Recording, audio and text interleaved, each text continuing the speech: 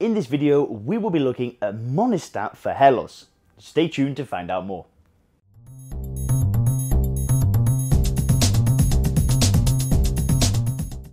Hey guys, Leon here from HairGuard.com, where people who are worried about their hair loss go to regrow their hair. If you are new here, make sure to hit subscribe and any of the links that we mentioned within the video can be found in the description below.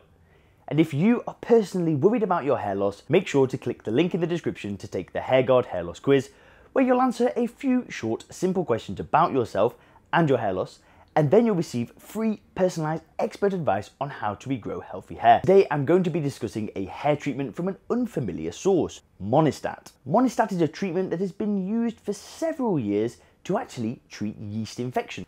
However, recently there have been reports of Monistat being able to stimulate hair growth. In this video, we're going to look at exactly that. We're going to look at what the product is, we're going to review the science, and we're also going to show you how to use it.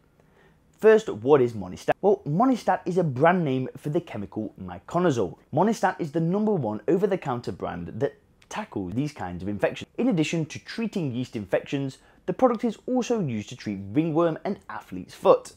It works. So guys, what's the science behind Monistat? Well, Monistat contains an active ingredient called miconazole, which is an antifungal agent. Miconazole's chemical structure is similar to ketoconazole, another chemical that has been proven to block dihydrotestosterone, the hormone responsible for female and male pattern hair loss. Now, a study in the International Journal of Cosmetic Science attempted to show the effects of various shampoos on hair shedding in men. This study showed that ketoconazole decreased hair shedding by 17.3% and even increased the thickness of the hair. Due to miconazole being similar in identity to ketoconazole, it too could display similar properties to those shown in the previous study. However, the effects of the miconazole on hair haven't been clinically proven. Therefore, it is unlikely that any significant results will be found, potentially being a waste of time. Similarly, a report was written by the International Journal of Dermatology to show the effects of miconazole nitrate on dandruff on the scalp region. Now, dandruff is an indirect cause of hair loss. This is actually because the itchiness it creates can lead to the scratching of the scalp.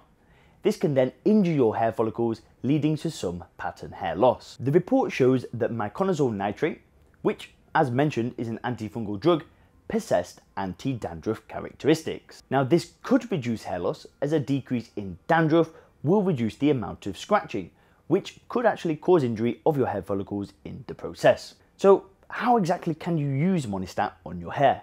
Well, before applying the cream to your hair, add a little amount of Monistat to a small bowl and mix in 4 tablespoons of water. Part your hair down the center and then begin applying and massaging the solution into your scalp, slowly working your way down to the top of the neck area. Repeat the application process until all of your scalp is treated remembering to section hair off as you go along. Leave the solution on overnight and wash it using lukewarm water and DHT blocking shampoo.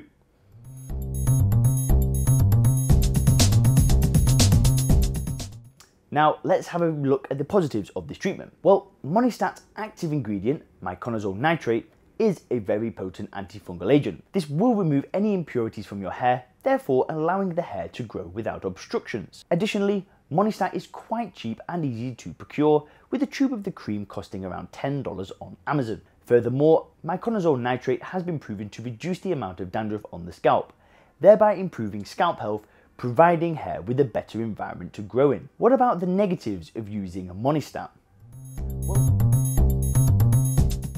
Well the anti-dihydrotestosterone attributes of ketoconazole have been clinically proven, but Monistat doesn't contain this chemical.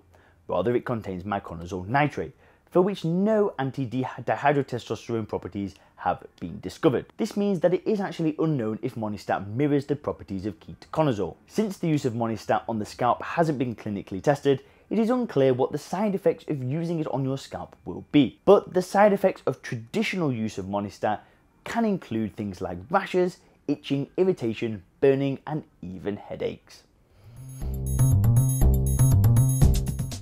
Now, Monistat could potentially be a positive inclusion in your hair care routine. Miconazole nitrate shows some positive qualities, such as its antifungal and anti-dandruff qualities. On the other hand, Monistat has various side effects, some such as rashes and irritation that could be very detrimental towards your scalp health. Getting your healthy hair back is always going to take a multi-pronged approach where you do things like make changes to your diet, regular derma rolling, using DHT blocking shampoo, using a good quality scalp elixir, using regular scalp massage, all the things that we talk about on this channel, that's what it's going to take you to regrow healthy hair. Now, if you're new to the channel, do make sure to hit subscribe. If you have any questions about Monistat, let us know in the comments below and I'll see you guys in the next video. Thanks a lot.